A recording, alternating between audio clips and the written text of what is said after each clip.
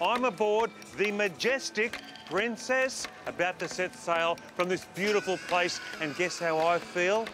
Majestic. How come the Beatles happen here?